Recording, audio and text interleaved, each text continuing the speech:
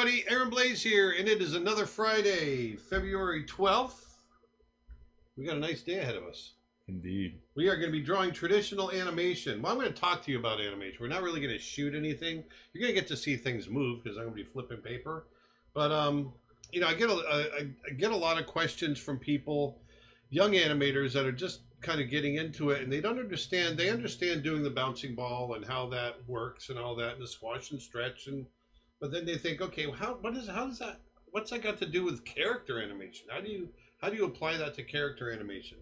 And I know for some of you, it's this might be old hat, but I thought it might be fun to go back to basics and we can talk about squash and stretch and, and overlap and all that kind of fun stuff as it relates to character animation, taking it from the basics of the bouncing ball and then bringing it into practical use, which is in your character animation. And I thought I would do it retro style on paper. So there you go. But first things first, I want to mention that we have a big Valentine's sale going on at creatureartteacher.com. So for this weekend only, use promo code ARTLOVE for 25% off of all of our art lessons, animation courses, and brushes. That's basically everything on the site other than merchandise. It's uh, 25% off uh, with the promo code ARTLOVE because we all love art. It's Valentine's Day. Valentine's weekend. Sunday's going to be big. So stay at home. Cook your loved one a nice dinner. Stay out of the restaurant. Don't spread don't spread the, the COVID love. For a second there, I thought thought were just going to pause out. Cook, cooked your loved one. Yeah, right. yeah, become a cannibal for once. Got some fruit punch today. I don't usually drink juices because there's so much sugar in them, but man, that tastes that tastes good. So uh, I got Dustin with me, like always. Hi. How's it going? Got Nick in Sarasota, and he's going to be answering questions too. And we're going to sit here and we're going to draw. Um, the first thing I want to do is um, uh, one thing I want to talk about is um, you know we talk about stretch and squash and deformities and things like that when you're getting hit and all in, in animation and how exaggerated it is. Well, it's interesting because I don't know how many of you have ever seen someone getting hit in the face in slow motion, but it's the one of the most disturbing things I've seen because there is so much squash, so much stretch, so much overlap, so much deformity that happens all in the real world. I've got a, a little clip pulled up. Why don't you pull that up, Dustin, real quick? Yep. And this is a little clip I pulled from the slow mo guys. And here's a guy getting hit in the side of the face with a soccer ball. I want you to watch this. All And I want you to see how this applies. Look at all that overlap, all that deformity. They're gonna they're gonna have it come through really. Look at his nose.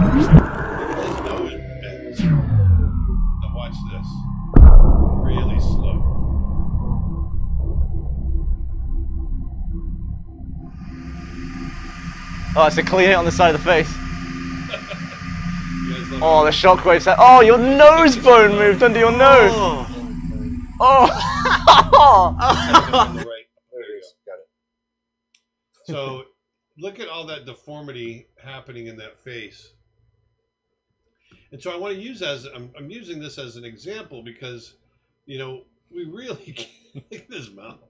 we really can get away with a lot in animation, and when you play it back at speed, even though you're drawing extremely pushed drawings, when you play it back at speed, you don't see it as strongly as you think you might, but you will feel it.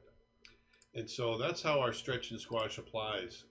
Uh, it's really cool. Yeah. So let me take this guy off. Oh, I want to mention too. I forgot to mention. Um, I think we have a. Do we have a slide for it? The uh, my my live event. Oh, the workshop? Yeah, the workshop. I forgot to tell you guys. On March 20th, uh, I mentioned it last week. March 20th, I've got a live workshop coming up. I did some watercolors last week. And, um, and so on March 20th, I'm going to spend six hours doing uh, animal portraits in watercolor. I'm going to be talking about my approach. Uh, I just updated the supply list, and I think Nick will be getting that up soon on the site. Um, uh, we're gonna have a blast. I'm gonna be giving you your own reference if you want to use that, or you can use your own if you want. But I'm gonna be supplying the reference. I'm gonna be uh, uh, uh, talking about my approach, and it's gonna be a lot of fun. So March 20th, starting at 11 a.m. Eastern Standard Time. Uh, I'm gonna work for about three hours or two and a half hours. We take a little bit of a break, and then I work another two and a half hours. So uh, six hours altogether, and it's a blast. So uh, check it out. Go to creatureartteacher.com slash live. Live. Live.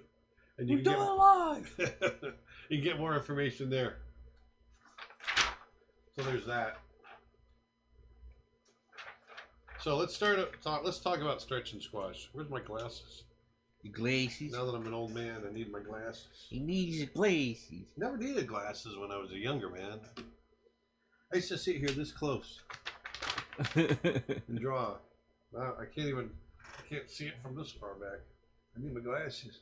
Glasses. man. So, for for those that are just beginners, and for those that are not, just be patient. We're going to talk about the concept of stretch and squash. What is stretch and squash? Well, here we have a ball. And in animation, we like to squash them, make them more dynamic. We like to stretch them as we're going through the actions. Maybe it's hitting an object and it's squashing. Maybe it's going really fast and it's stretching. But these are things that we like to do during movement. So here I have the ball. Hang on one sec. Looks my- like your, Is my head getting in the way? your, Oh, head, your hair, your bundle of hair. my bundle of hair. I can sit back.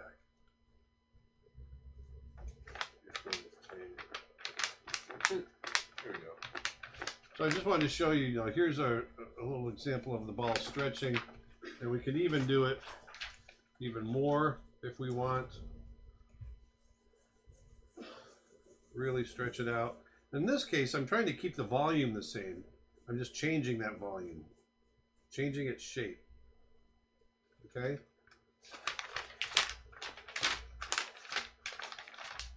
So there's Look at that. You're getting to see animation right there live. Look at that. Magic. Oh, I'm a wizard. Magic. Magic. Now, we can go the other way. Let's turn these around. Put this guy on top, this one on the bottom. Woohoo!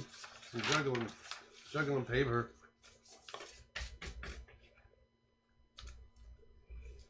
So now, let's say we have these, this one coming up, and we want it to squash. Uh, well, it's just like you thought. You know, it's squash. Just have it squashed this way. I'm just having it squashed randomly in the in the air just so you can see the shape changes. I can just hear in my mind going.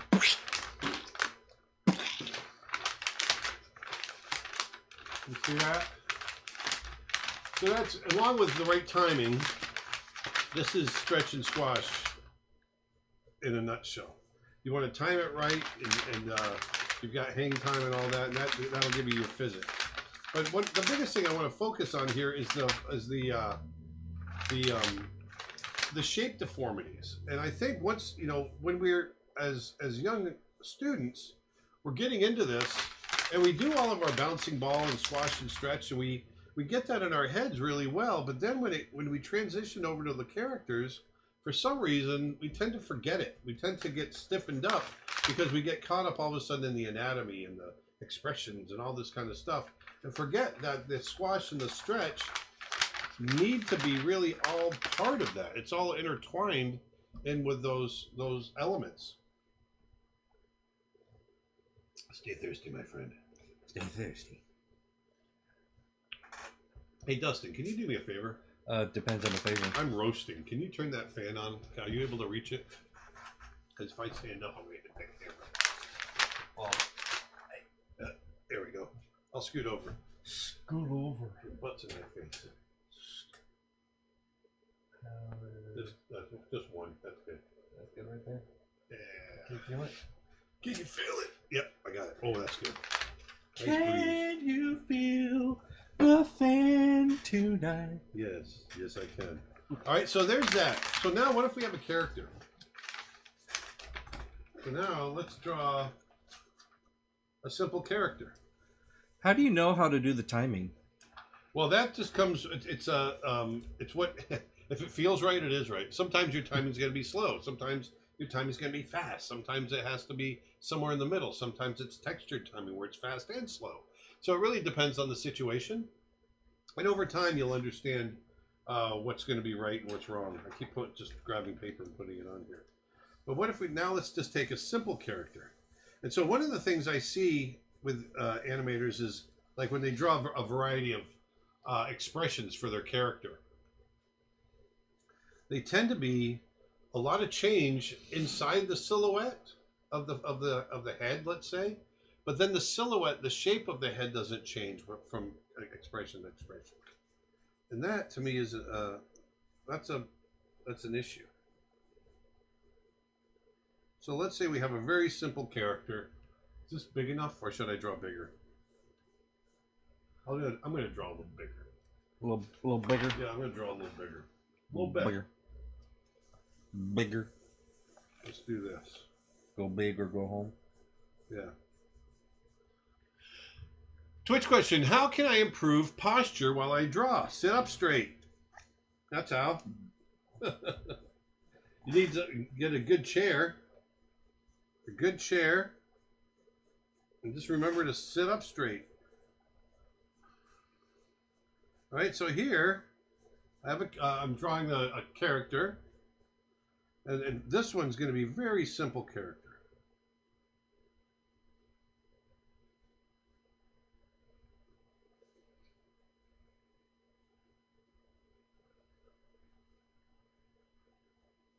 Hello. Hello there. Hello, hello there.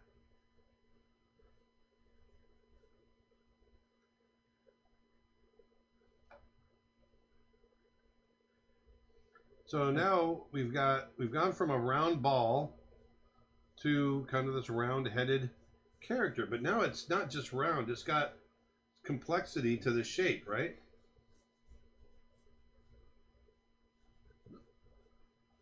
So let's just start with that head. So we've got complexity to the shape now.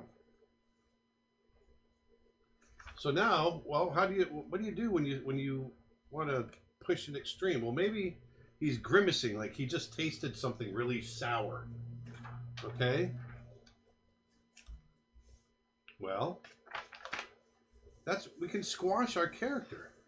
So not only are we going to have the expression of sour, we're going to play with squash and stretch. YouTube question, do you have some video about how to work with exposure sheets? I have a big problem with it. You know, we get this question a lot and I don't have specifically one on exposure sheets, although I do talk about them in a couple of videos. Um, we'll get something out.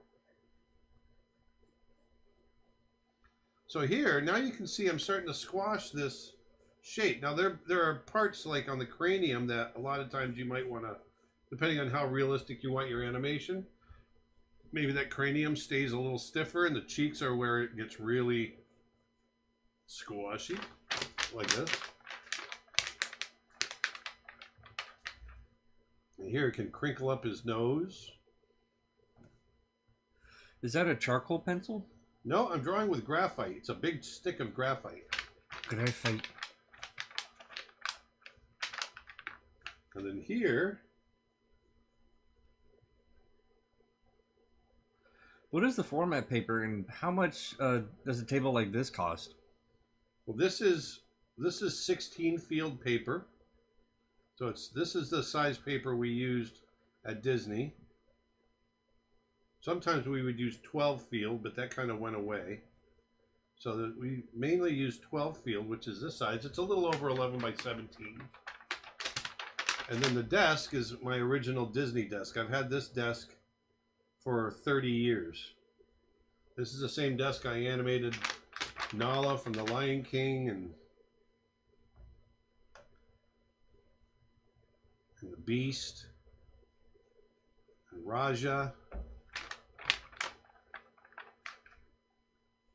And I know that these desks were about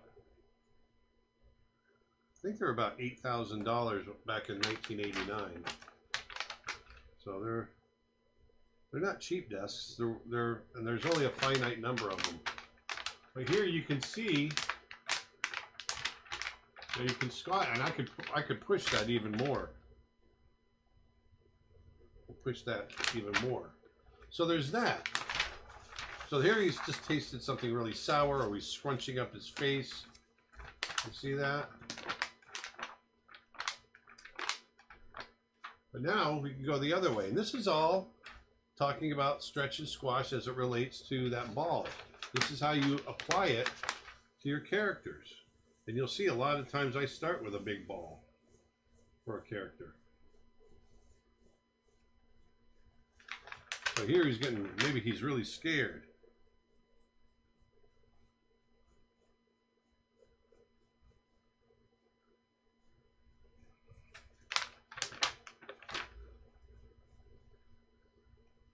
Actually, I'm going to go even bigger. Go big or go home, I say. Go big Or go home. or go home. Actually, I'm going to do it a little bit differently.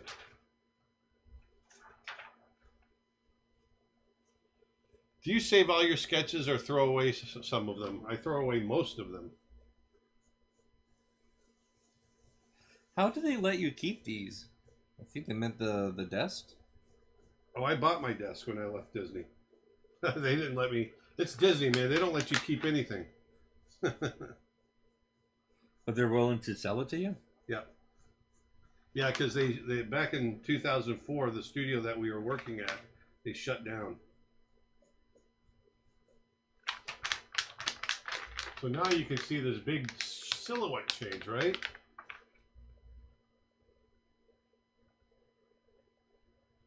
Well, the Uh, nose is going to change shape. Go ahead, Dustin. Sorry. It's all right. Um, I would like to start um, learning animation. What course uh, would you suggest first?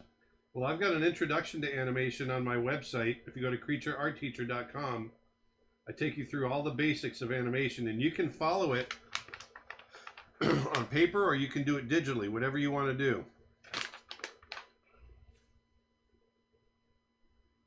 So notice I'm opening those eyes up too. See them getting bigger? How long have you been animating? I've been animating for about 33 years.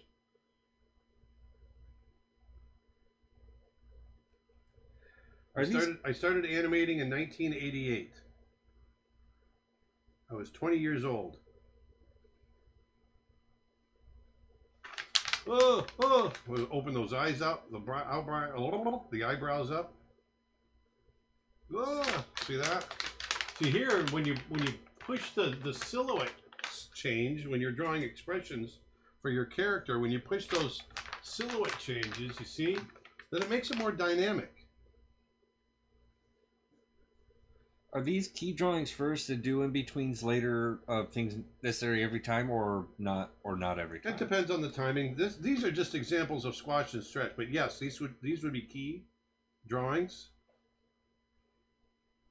But as far as how many in betweens go in there and all that, it just that just depends on the timing. Ah, ah, ah,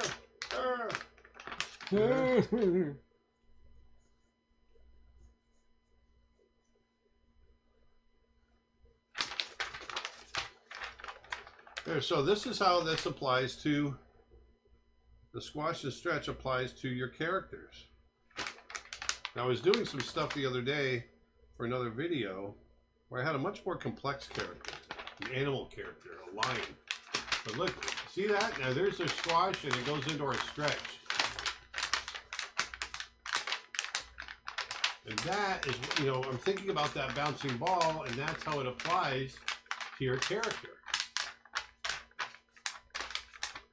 Like so. What is the cost with one animation and storyboard and layout? What's that?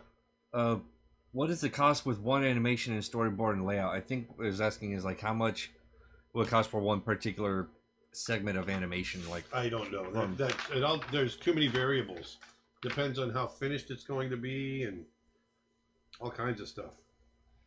Let's say um Brother Bear for instance, how Brother From- Bear cost eighty-six million dollars to make. from beginning to end. Yes. He spent eighty-six million dollars making that. So here we go. So now I'm going to create a, a much more complex character. So now let's say we've got this lion.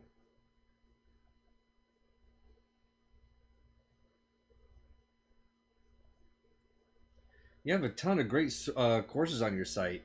Is there a suggested order for of which courses to do first? No, not really, because it all depends on what you want to learn. There's, you know, because it's animal drawing and human anatomy, character design, storyboarding. That's all over the place. So you can pretty much just start anywhere. I suggested that if you want to start doing animation and character design, maybe you do the anatomy course first, and that'll get you started in there.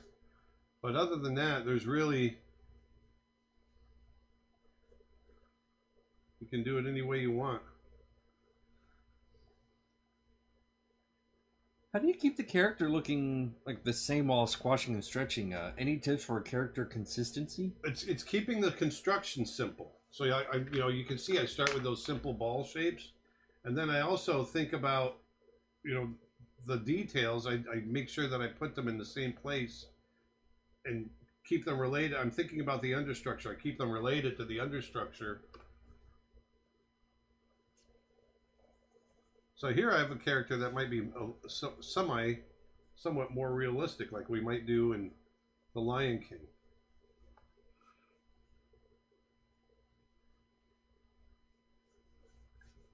How did you guys do camera movements and uh, shakes on traditional animation like this? You, Was it you done- literally move you literally move the drawing around to get a camera shake. That's it, that's really what we did.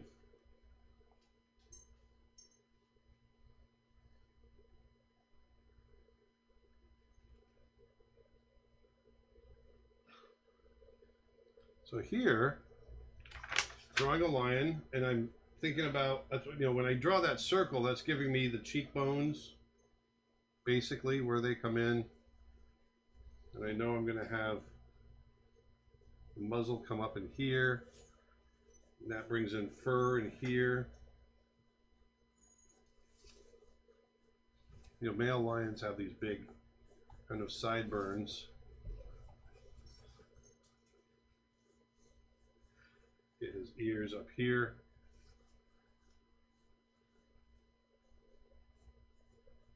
How do you get faster recognition as an artist? You just stick with it. Don't do it for the recognition. Do it because you love it. The recognition will come later. If you're trying to do it for the fame, being an artist, trying to be a famous artist, it's not going to happen. okay, so here I've got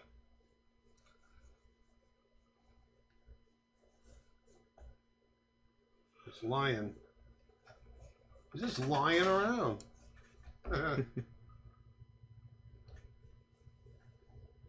So here he is in a neutral pose. Actually, I'm going to give him eyebrows. Yeah, give him them brows.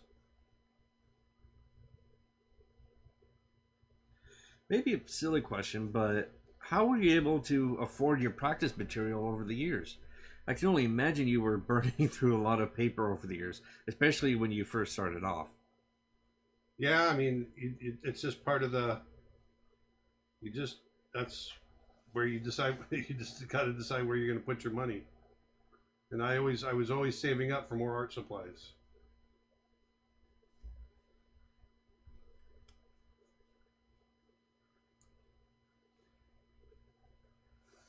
Have you drawn a dragon? They are difficult for me. It took me a whole day. yes, I've drawn dragons. Yes, they can sometimes take an entire day. Yep. So here, now how would I? How would I? You know, this is complex, right? We got this complex character. He's looking at us. Oh, don't say it's Mufasa. This isn't Mufasa. This is uh, Mufasa's cousin, Steve. Mu- Mustafa. Ain't a Mustafa. Do you ever have days where you just can't draw or are not satisfied even at this stage? Oh, of course. We all have those days. Okay, so here now I got a I got a complex character. Let's do the squash. Let me look up here. What do we got? Any thoughts on blue sky closing? Any advice for those who may be laid off? Yeah, I've gone through it. You know, Blue Sky closing is a tragedy. It's horrible. You know, it's it's drawn. It's you know being driven by economic factors and uh, all kinds of different factors that get thrown in there. Um, I don't know that it's. I don't necessarily agree it's the right thing to do, but I understand it. I mean, definitely in this day and age with COVID, and you've got a, a you know a whole studio that you have to pay salaries to, and you're not getting the return from the box office that they used to. You know, there's hard business decisions that have to be made. I um I hate the fact that it's closed. Um, it's a an amazing studio with incredible, talented artists that are just second to none. They're just I know so many of them, and they're amazing, amazing people. And therefore, I think it's I think it's a horrible thing. Um, anybody that's been in the industry as long as I have has at some point or another gone through a, a, a closing and uh, or some a shift in the in the industry. And um, I, you know, it feel for me it feels like about every 15 years something major shifts in the industry. And I think we're going through another one of those shifts. I think it's being COVID driven.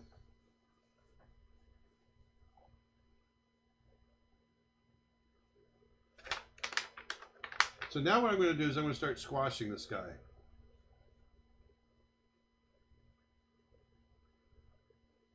Want to get those eyebrows down. I'm going to squash those brows really deep. See those eyes squash. I'm going to bring this nose up. Now with lions, what do they have? They've got snarly faces, right? So I'm going to try to get that snarl in there. Get that snarl going. Get that snarl there. The snarl. And a lot of times you'll see me just kind of searching for it with my pencil. I'm searching, searching, and then when I find it, I jump on it.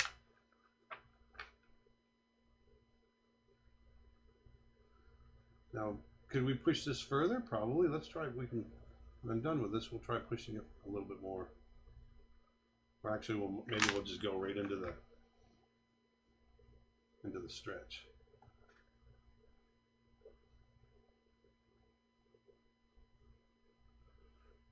Richard on YouTube asks, "What sort of income can one expect to make in animation?" Well, I know animators that have made, you know, in the day back when it was huge, some animators were ma- pushing, you know, a few hundred thousand a year. I don't think it's that's where it's at anymore. But it's it's definitely a decent it's a decent salary if you're if you're a uh, if you're a major you know if you can get up there and, and get some major roles, you can have a, a decent salary. I'd be comfortable. Don't get into animation for the money though, because once again, it won't it, it won't it won't satisfy you if you if that's why you're doing it. Animation is a labor of love. Okay, so now look at that. Look at the muzzle. See how I'm squashing that muzzle? That muzzle though. Here, I'm going to bring that.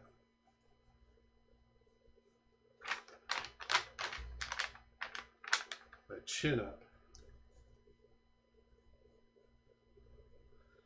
I was told to pick a style and stick with it, but I thought being able to have a variety of illustration skills was a good thing. Any thoughts? Yes, I agree. I don't think you have to pick a style and stick with it. Who says that? Who says you have to pick a style and stick with it? You know? Some dumb dumb, I guess. but there's no, there's really no reason that you have to do that.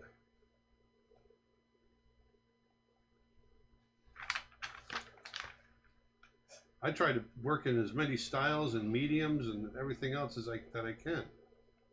Makes you a more well-rounded artist. Yeah, isn't that one of the things that they really look looked out for uh, uh, for Disney animators because there's so many different styles. Yeah, I mean every movie we worked on, we it was a different style, right? yeah. And so, I when I reviewed portfolios, I wanted to see people that could do a variety of styles. I was on the review board for over twenty years, or for about 20 years, I was on the review board. And I wanted to find people that could that could do that.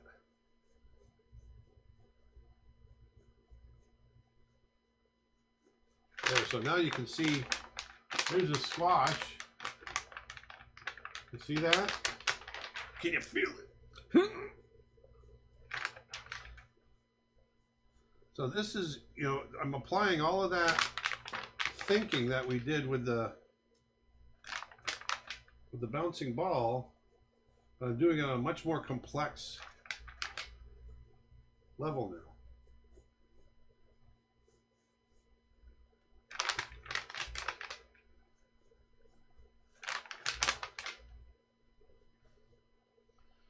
YouTube comment. I'm here just to say thank you for course on the 12 principles of animation. You are welcome. For the person that was looking for the animation course, that's a that's a good one to start with. The 12 principles. That's where I started.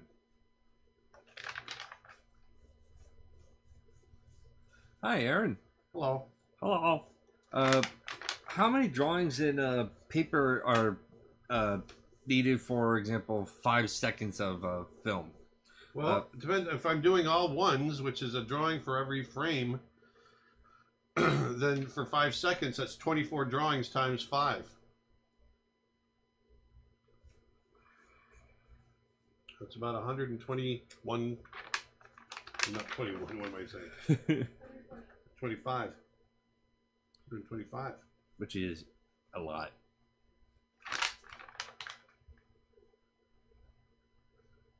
So there we go. So there's there's a squash. What kind of paper are you using? It seems thick, but see-through. It's a little bit. It, it is a little bit thicker than normal paper. It's not really see-through. It's just, it just seems see-through because I've got such a heavy pencil, dark lines. Very, it's very dark Dark. and gloomy. So now let's do this. Let's switch these around.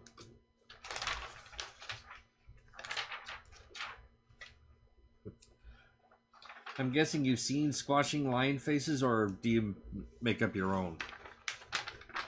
I've- seen squashing lion faces. Oh, I, yeah. I mean, I see them like when they yawn and snarl and stuff. Of course.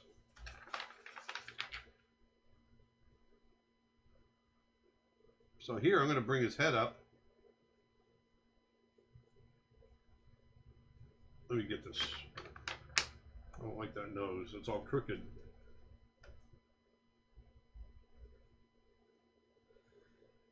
Do you feel like there's still public or even among artists uh, interest in traditional animation films over the latest push towards digital, or is this shift largely business? No, it was business. If you leave it up to the artists, there, there we'd still have a lot of hand drawn animation, and not to not to take anything away from CG animation. I think it's wonderful. I just don't think that we needed to shift so far the other way, personally. So here, now you can see I'm starting to stretch these eyes. Here's the squash. Here's this is going to be the stretch. So I'm going to get those brows way up there. Which art style um, do you think is less seen in the world? What art style do I think is less seen in the world? Yeah. I don't know what that means. Is there um, a like a oil watercolor, like maybe different medium? I don't. I have no idea what would be less seen. I, I don't know.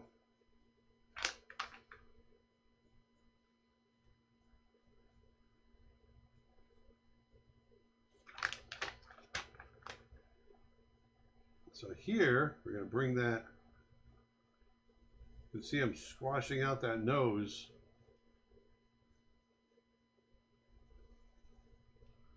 Whoa, whoa. How many paper cuts have you gotten? a lot, and they're always right between, right there. Oh, Always get them right there. oh, right between the the Yeah, index right in and the middle. little fleshy spot between your fingers. Oh, ho, ho, ho. Yeah, nope. Nope. So there's, a look at that expression change. Whoa. Ah. So one thing that we're going to be doing, along with my uh, uh, costumed figure course that I've got planned that I'm working on, um, we've got another one coming up on drawing clear expressions. And um, going to be a short a shorter course, but I'm going to take you through what I think about, and it's a lot of thinking about everything that I'm showing you now. I'm going to get much more in depth on how to to get your expressions much clearer and subtle, more subtle. I'm gonna get. I'm gonna. His face is gonna go right off the page. Watch this. Have you seen the movie Roar from 1981? It's literally just a movie about 150 untrained big cats running around a house and being, well, big cats. I have not seen it.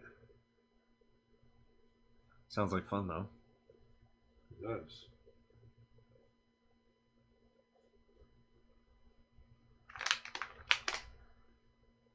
Vanessa asks, I know 2D animation is always a challenge, but how many years did it take you to get somewhat comfortable with it? I would say it took me about five. Five. I still, I you know, it's still work. It's always, it's never easy. But it probably took about four or five years before I was really, really comfortable with it. Are you just doing keyframes in this uh, squatch and stretch, or are Yeah. you gonna uh, be doing tweens too? I might be able to do some in betweens if you if you want, but it's really I was just I wanted to do this just to show you how the idea of stretching and squashing, you know, with like the, the, the bouncing ball idea, how that applies to character animation. So here you can see I'm just stretching everything. I think about the eye stretching, the brow stretching. And by the fact that the brow is stretching, maybe the forehead is squashing because it's got to push all that fur up, right?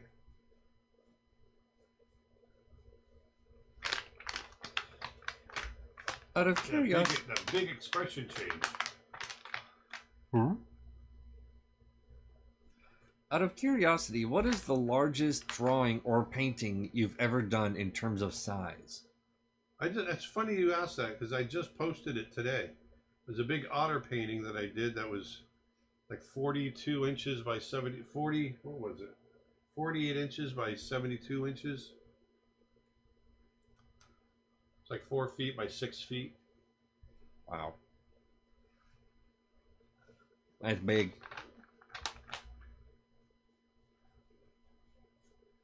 How long did it take you to make that one? a month.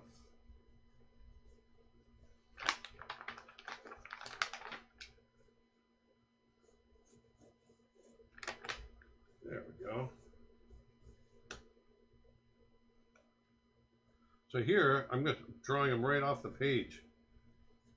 I drew them so big. I got into it. This is something I always used to do back back in my Disney days. I would I'd have to check myself and make sure I wasn't drawing too big once you start getting that energy in and all of a sudden the the drawings start getting bigger and bigger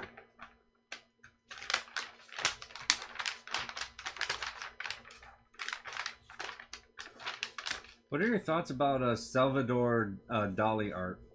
oh i love it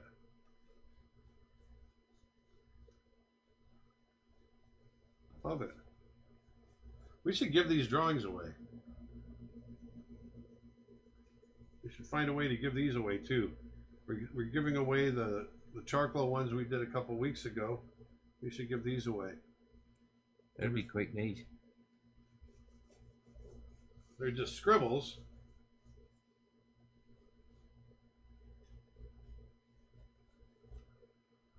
There we go.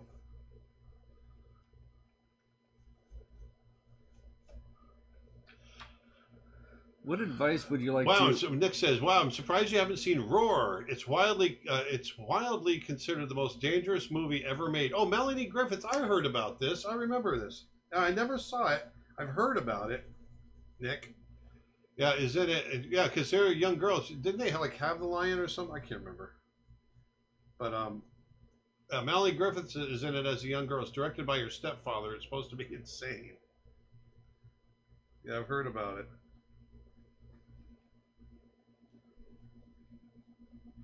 Go ahead, Dustin. One sec.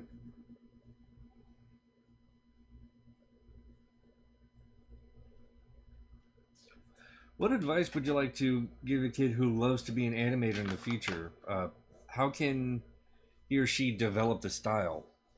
Well, you know what? I just I just loved to draw as a kid, and I learned, and then I learned animation. I did. I was in my. I was 20 years old when I started learning animation. I just love to draw. So my advice to you is, if you're young, just draw a lot. Learn how to draw. Learn good draftsmanship. Those are the things that make a great animator. Understanding movement, but you can't portray that movement unless you're able to draw it. So that's the basis. So there's our neutral. There's our neutral pose. There's our squash. So you get even a bigger change between that squash and the and the stretch.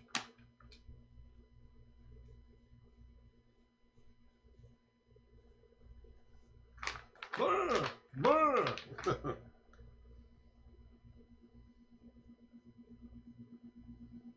So, you know, make sure that you're changing the silhouette shape of your character when you're pushing your, your expressions.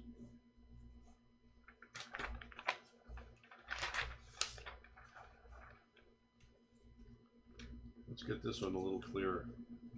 So what we what we would do is called a rub down. You take your eraser and just roll it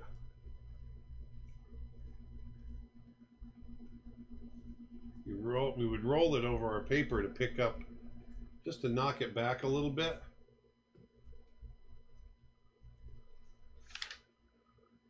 So now your eraser's all graphited up you just stretch it out. After a while these just turn to goo you got to throw them out.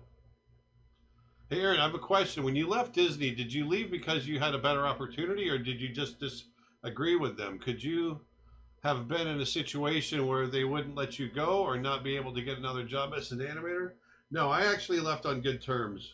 I was having some personal issues in my life. My wife had passed away from cancer, uh, Dustin's mom. And so Dustin and I and her sister, we were just heartbroken. We were having a hard time at home. And I wasn't doing very well at work because of that. And so I was directing a movie and I was taken off the movie uh, because it just wasn't going well. And that's when I realized I needed to just kind of make a big change in my life. And so that's when I decided I quit. I quit on good terms, though, like I said, and um, I and uh, decided to go back and kind of find myself again. And that's what we did. Dustin and I, we packed everything up. Um, our his sister, my daughter, she had left a couple months earlier, and uh, we just headed back to Florida, and I started all over again. And that's that's why I left Disney. I'm I'm a big advocate of never burn a bridge. You know, you might leave a studio, but never burn those bridges. You know, the time I had at Disney, some of the best times I ever had, and I made some of the best friends that I still have to this day, working at Disney. And uh, you know, one of my closest friends that I talk about a lot, Jim Jackson, he was at Disney. You know, he went through the closing of Disney, and now he's going through the closing of, of uh, along with 450 other people, the closing of Blue Sky.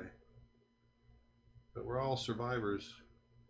You know, especially when you get to our age. You know, we've all gone through something in our life that just, you know, you just you just got to fight through it, and you you find the the next thing in your life that's going to get you through it and that's what we did when I left Disney. And um, and if it hadn't been for that, I wouldn't have, you know, started Creature Art Teacher. So that's kind of a crazy, it's kind of a crazy thought that you go through a horrible tragedy in your life, and it sets you on a path that ultimately becomes rewarding. And uh, you know, when we started this business way back in the day after I left Disney, I wanted to do something that I would make Karen, you know, proud. And uh, so here we are now, eight years later. I think she'd be really proud of what we do with this business. She was always a very generous, giving person. So I wanted to make sure that we could do something that would be right in the vein of what she would like to do. So there you go. There's your. I probably you probably didn't expect an answer like that. but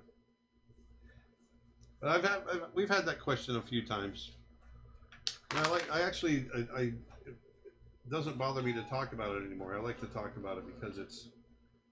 It's something that you, Dustin, and, and I, and your sister, and you know, you learn this lesson of surviving horrible emotional pain, of being able to come out of it and you know, move on.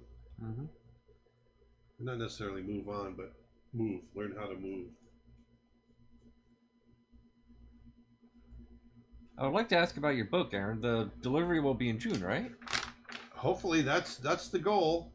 Might be June 2026. 2000. no, I'm kidding. No, actually, Nick and I meet uh, uh, regarding the book. We get together uh, probably three times a week, two or three times a week, uh, getting that. Uh, we've pulled up, we've pulled together all the art that we're going to have in it, plus some.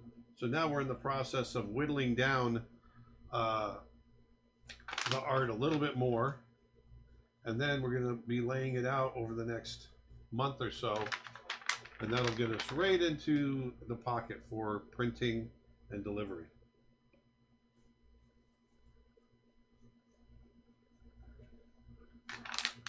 There we go.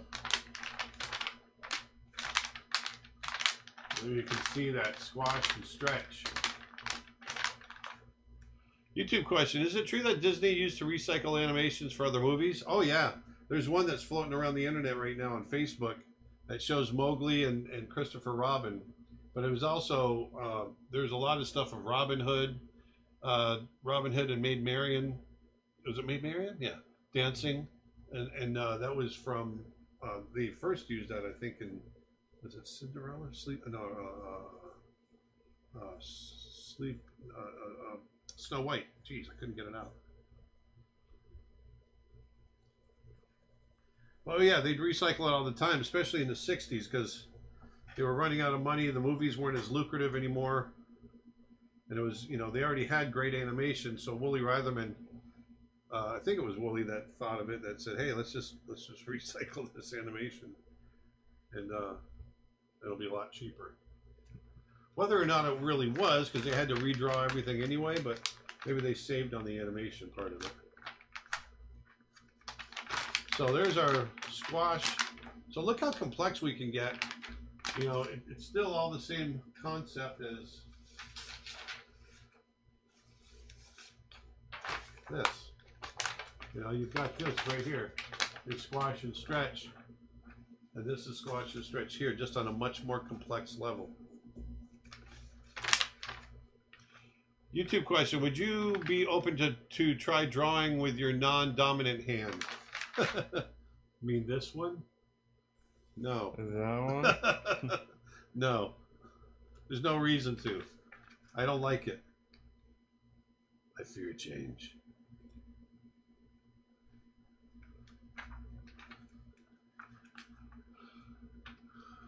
Oh, that's right. Nick's reminding me. It, this is the one year anniversary of my Procreate course. It's been really, really popular.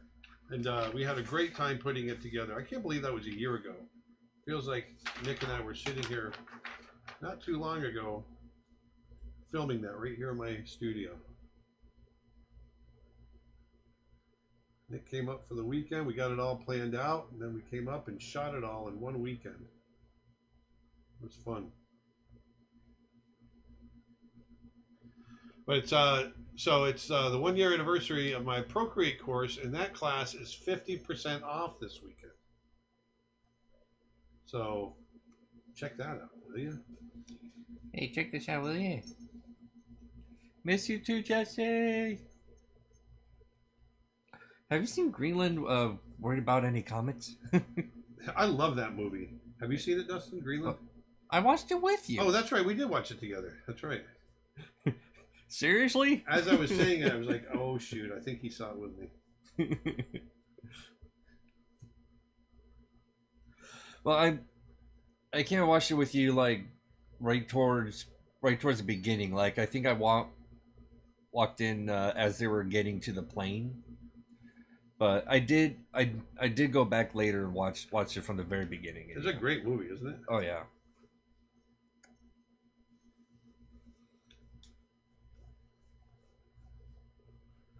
Yeah. I just like I just like drawing lines.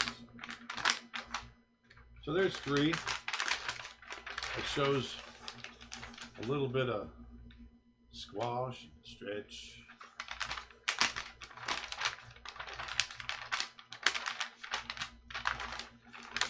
Are your books going to be a limited time only? No. No, the books will not be a limited time only. Now, our first printing is, is we're only doing a limited amount on the first printing, but if there's enough of a demand, we'll do more printing. The one thing we are going to have is a volume two that uh, at some point, not sure when, but we will do a volume two. This one's been selling very well. We've been happy about it. Let me hit this a little better. Is it true someone bought an original Michelangelo drawing and erased it? I don't know about that. That'd be ridiculous. I don't know if someone's done that. That would be evil beyond all measure. Jesse said, "I seen a meme that says you look like something I drew with my left hand." And I instantly thought of, thought of Aaron and said to myself, "That would be a hell of a compliment." so yeah, Nick is saying that on the books, the pre-order sale is uh, limited. So once the book comes out, the price goes up.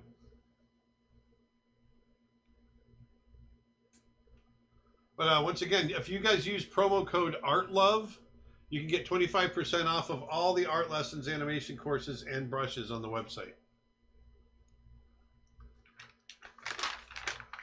So there's a squash and a stretch. Let's do a, a human character. We're going to do something with these drawings.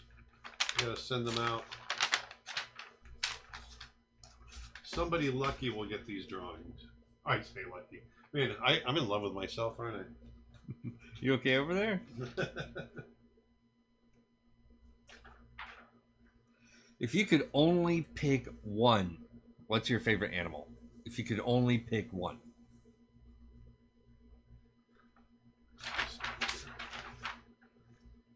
Uh, I, I can't. I can't pick one. No, I'm not going to do it. Can't just pick one. So here I want to show you from the side what this might look like.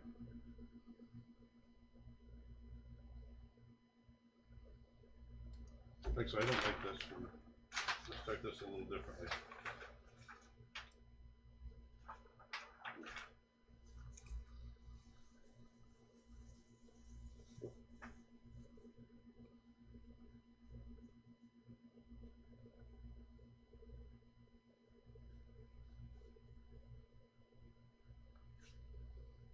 Different angle. How do you deal with art block? Just draw. Just do it. Yeah, you just gotta you gotta fight through it. And the only way you can fight through it most of the time is to just draw. Just uh, just literally put your pencil on the paper and start working. And just sometimes I'll just freeform, just just start whatever comes to my head.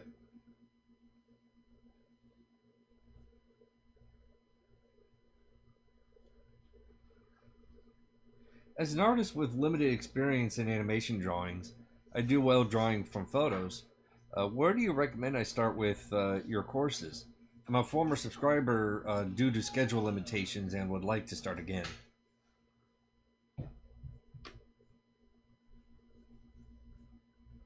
Um, I would you, you could you could start anywhere. You know, I, would- I would start with the you know more of the the the fundamental classes like the design classes, the the uh, figure classes, that sort of thing.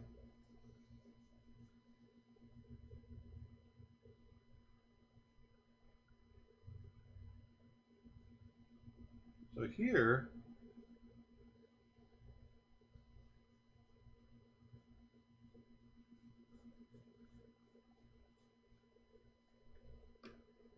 there.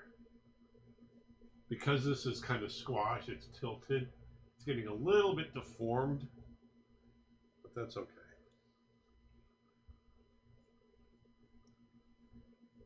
Do you do a lot of animal watching, like at zoos? Or in real life, yeah. I mean, I'll go to the. I'll go to, uh, Like Woodruff or Merritt Island? yeah. Or, you know, Africa, you know, if we can. Here's hoping. Here's open, kid. What's your favorite type of music? Oh, I that's another hard one because I jump all over the place. It's like I, you know, you know that Dustin. Does it's like Dustin's got the most eclectic taste of music I've ever seen. You like everything. Just about.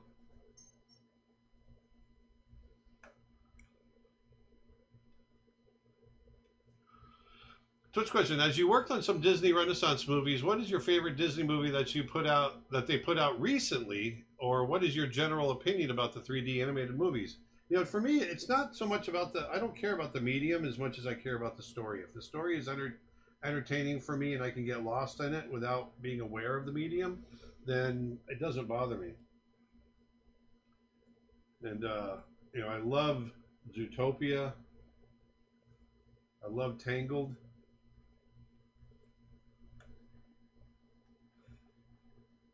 Is the book Alla Prima 2 by Richard Schmidt uh, worth getting? Yes. Anything by Richard Schmidt is worth getting.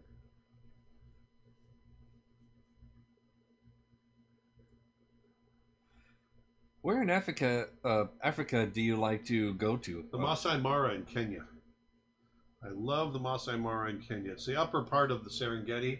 The Serengeti goes up through Tanzania, and then when it crosses over into Kenya, it becomes the Masai Mara. It's a much smaller area than the Serengeti, but it's just full of wildlife.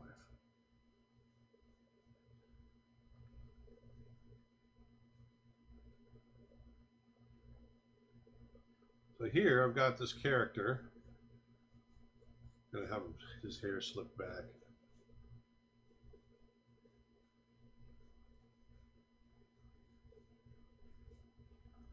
Like this silhouette. Like the silhouette, like the silhouette. La, la, la.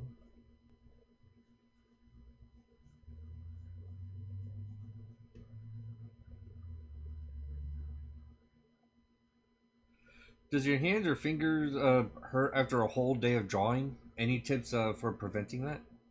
No, they don't hurt. I've been doing it a long time.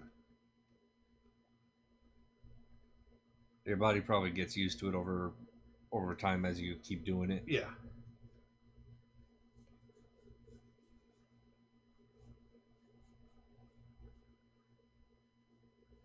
Now, a lot of times I'll overdraw like this, but I just can't help it. I love drawing. So let's get another one in here. So how you know now that this guy's in a in a profile,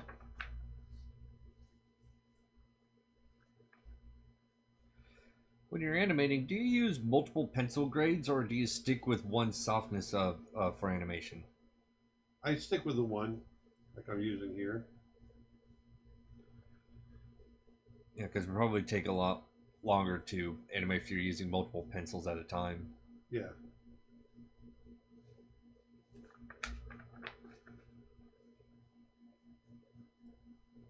So you can he, you can see here. I'm gonna.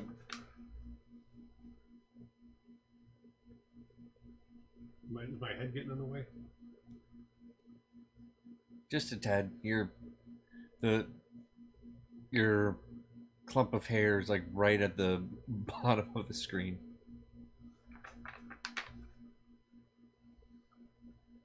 So what I'm trying to do here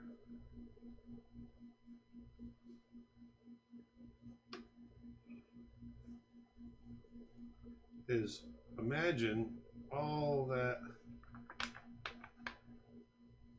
flesh pulled up.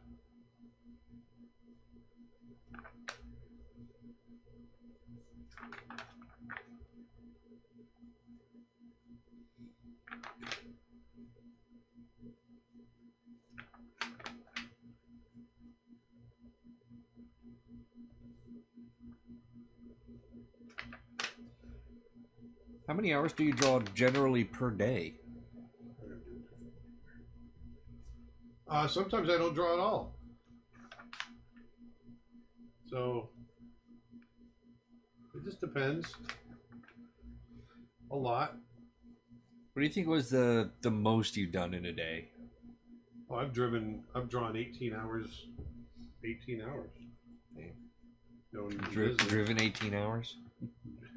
I've drawn 18 hours. What I say? Driven. You, for for a second there, you did say you said driven then drawn. Oh yeah. You subconsciously corrected yourself. so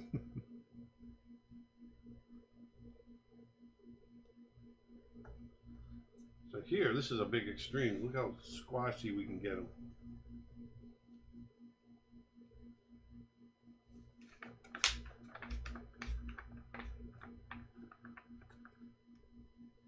In character design, whether it's uh, human or animal, uh, how is the process for that? How does it work? That's a broad question. Um, you know, when, when you're character designing, you you got to understand the character from a story standpoint first. You got to understand the art direction of the film.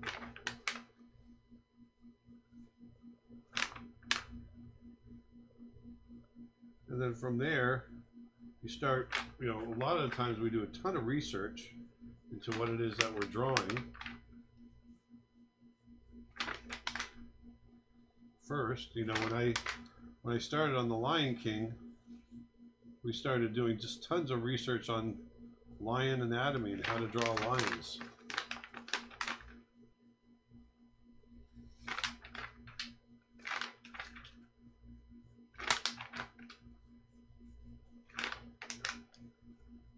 And then from there, we'd get together, the artists, we'd all get together and show our drawings to each other and get together with the directors and make sure that they're all being drawn to feel like they fit the same movie, right?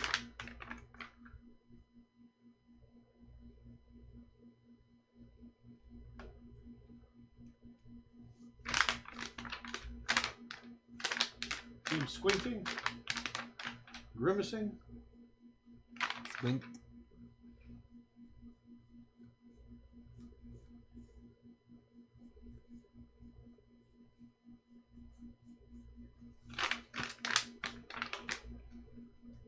want to get them kind of streamlined, like this wedge shape.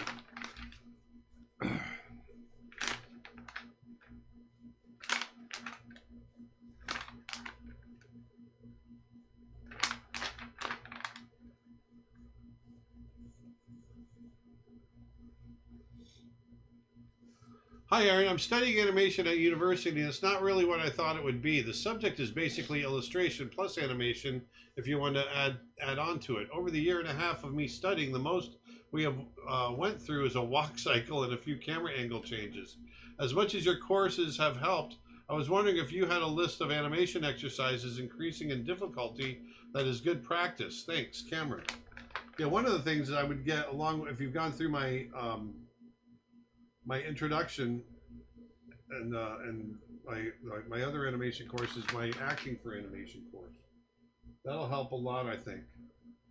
But just getting in there and, and trying different mechanics, getting used to animating mechanics, um, along with the emotion, you know, because you want the emotion to drive the mechanics.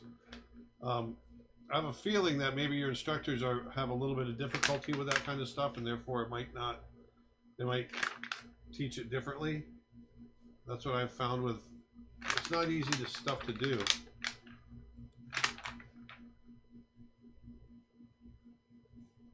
So I would definitely get into the acting side of it.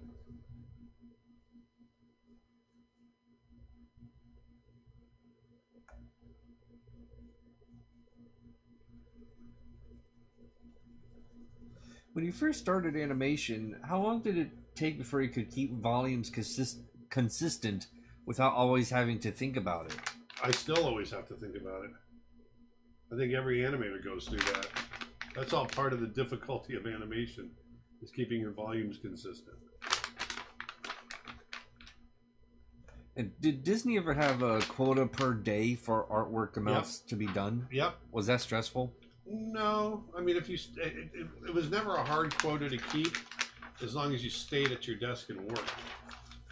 There were some guys that you know played around too much, and it would get a little hard for them to hit their quotas. But you know, if you just stayed at your desk and worked, then it wasn't hard. Yeah, quotas are pretty common in places like that. In fact, I remember in when I was working as a, a depth artist for Stereo D, uh, our our quota for the depth teams were, if I remember, I think it was either 240 frames worth of footage or up to three shots done by the end of the week. Yeah, Like that was our that was our weekly weekly quotas. that's not bad. That's pretty average, but sometimes they they would push further. Sometimes they would subside it a bit, depending on how busy our our hours were Yeah, because of projects. But yeah, that was kind of the most average. Was like two forty frames or or three shots. And so ins instead of dailies, it was a week. It was weekly uh, quotas. yeah, that's what we had. In cleanup, we had daily quotas. But once I got into animation, it was weekly quotas. So now watch this that shape change in this nose. See that stretched? Because now he's going to open his mouth. If I subscribe to your courses, do I get access to the workshop in March? You get you get uh, a discount.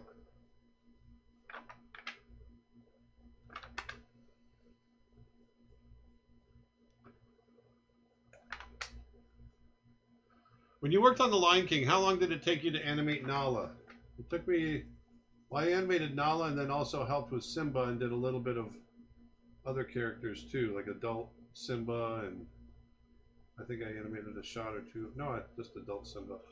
But um, I was on for about a year. So it took me about a year to do Nala.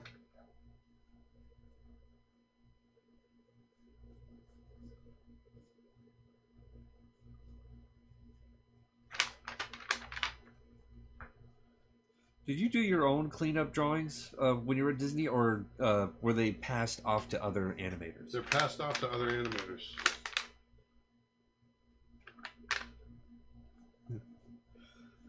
What sequence have you animated that makes you laugh the hardest? Oh, oh. I don't, look- I don't- I don't like the shape of that mouth.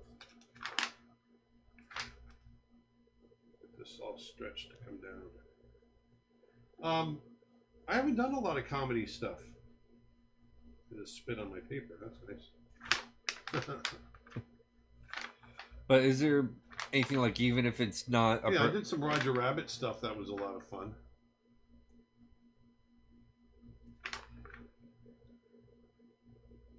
if in case it was um it was asking it in a different way uh, Ah. was there a shot like you were working on that something happened around it like something in the workspace that that was funny that you know, You think of working whenever on you the- see a shot? In, in Mulan with the gang of three, there was always something fun to do in there.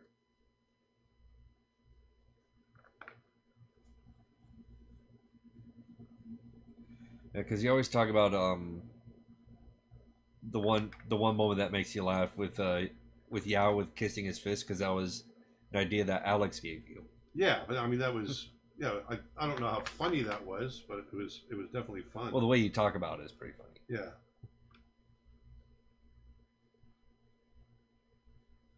You know, we had a lot of really great experiences on that, on, you know, over the years.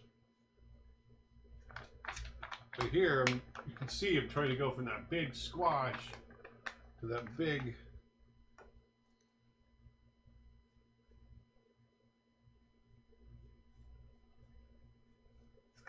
Open expression. What medium do you like the most? You know what? That's tough. I love drawing. I love painting. I love painting in oil. I love painting in watercolor. Um, I love charcoal.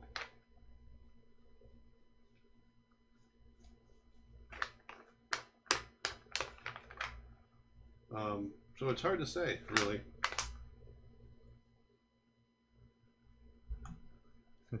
Dustin, whatever happened to you trying to get a house? Um, that idea is currently on hold. Currently have some other stuff going on.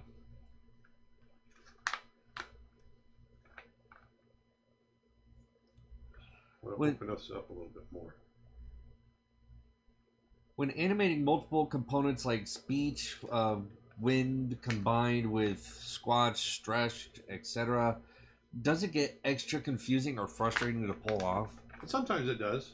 You gotta, you just gotta sit back and, and simplify it in your head.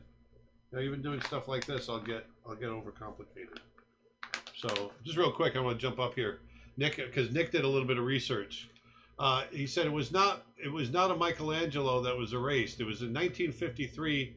Robert Rauschenberg erased uh, de Kooning drawing, framed it, and sold it as a separate piece called "Erased de Kooning Drawing." De Kooning provided the piece and gave his blessing. Wow.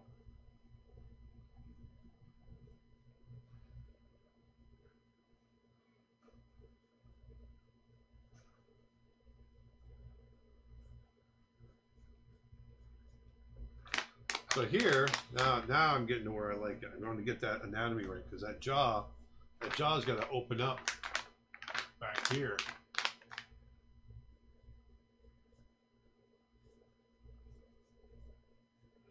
Dustin, did you get the Alpha 1 yet? No, I have not. I do plan on getting it, though. It's definitely on top of my list. Had a few issues. Huh? So it had a few issues. Yeah. I'm not going to go into that.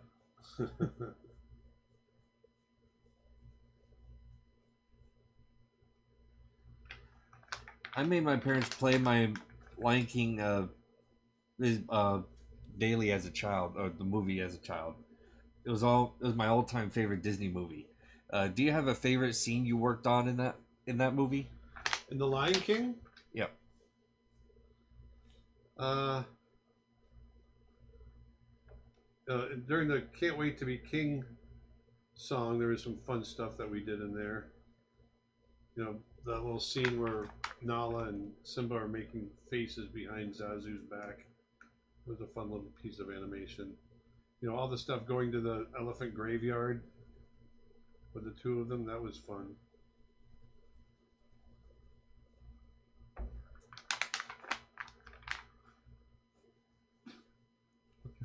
Ooh, what kind of table or desk is that? Can't figure out the name of it. What? The the desk that you're animating from. It's an animation desk. It's a it's a Weber. Weber. Bye bye. Weber.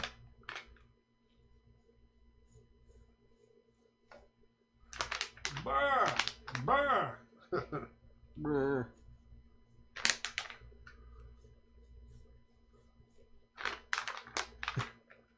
The story about the erased drawing reminds me of the banana taped to a wall. Someone took it off the wall and ate ate the quote unquote artwork. yeah. So there we go. There's a there's a bit of a stretch. You see that big change.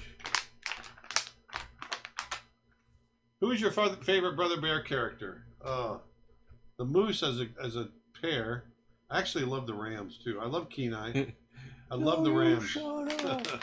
I had a lot of fun recording those guys. Those were the Budweiser Frog and the Chameleons and all that. The guys that did the Budweiser commercials. Yeah. So those guys were they were they were just funny guys.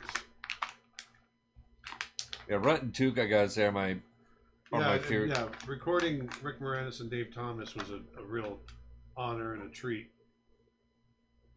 I really enjoyed working with them.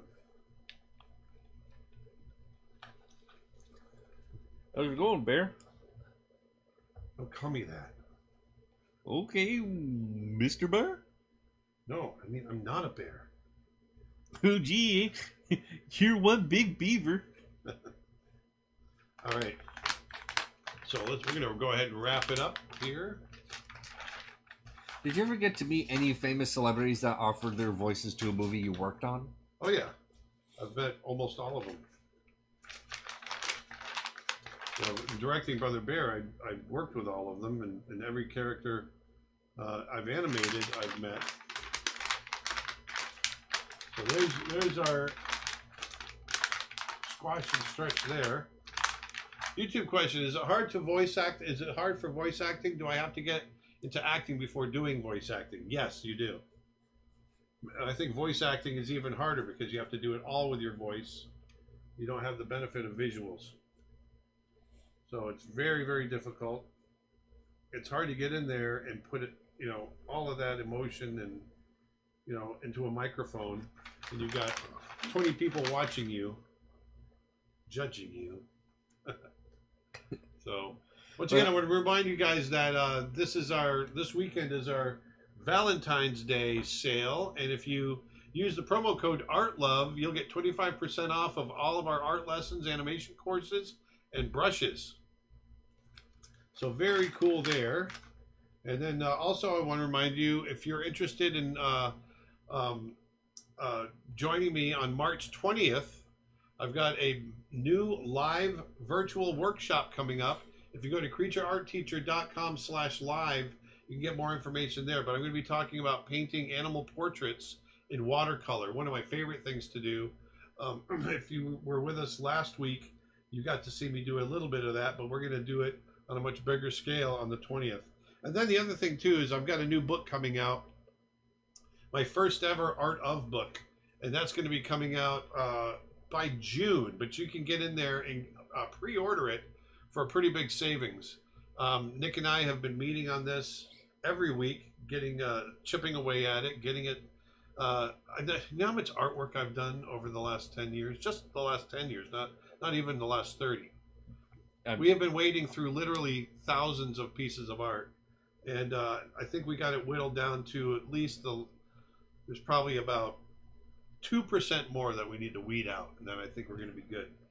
But uh, we're really excited about it. I'm really excited. Um, I'm uh, uh, and I'm really happy that you guys are excited as well. We've had a great response, and so I appreciate that. So go on over to creatureartteacher.com and you can pre-order the book there as well. So um, there it is. This is squash and stretch when it applies to a character. You know, it, it, you can see that bouncing ball, but then you take those principles and you can apply it to your characters.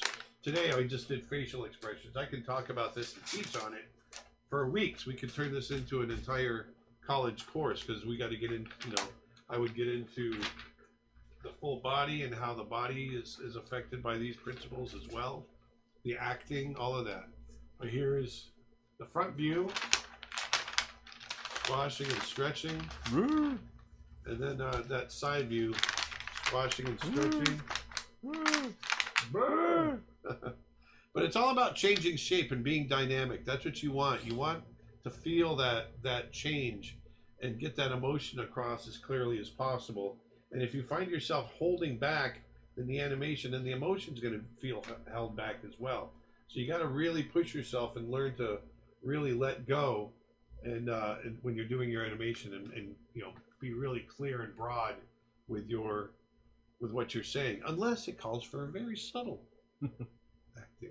Are you going to um, sign these when you give these away? Uh, I could, but uh, I'll get together with Nick and we'll figure out a way to. Yes, I am going to sign them. So hopefully, or we might. You know what I think we might do? We um, uh, rather than give these away, uh, there's a there's a there's a charity, a couple of charities that Nick and I have been talking about that we want to give to. And we might do a little auction for these, and uh, and the, all of the proceeds. I won't. You know, Nick and I will not keep a penny all of the money will go towards the charity that we choose. Uh, like Nick and I need to talk about it, but um, we've got quite a few pieces of art that we're talking about doing this with, and um, so give us uh, give us a week or so, and we will um, we'll have more information on that. but I think this would be. Um, I think we could do some good with that. So that's what we're going to do there. The uh, the charcoal drawings were still. We said that we were going to give those away, and those are being given away. But uh, I want to do something with for charity with these. So there you go, guys. I hope you learned a little bit today in how to think about squash and stretch with your characters. I know it was just facial stuff, but you can uh, kind of extrapolate from that and pull it out to full body and that sort of thing. But it's really all about making sure that not only the interiors of your expressions are squashing and stretching, but think about the silhouette as well. And that goes for the body. So uh, I hope you guys uh, have a great weekend. It's Valentine's weekend, so I hope you have a lovey-dovey weekend. And uh, I want to make sure I didn't miss any questions. I didn't. it's gonna be on a Sunday, isn't it? It Uh, is Sunday, yes. Sunday. So um, get out there, have a great weekend. I think it's going to be pretty rainy here in Florida, but that's okay. We always need the rain.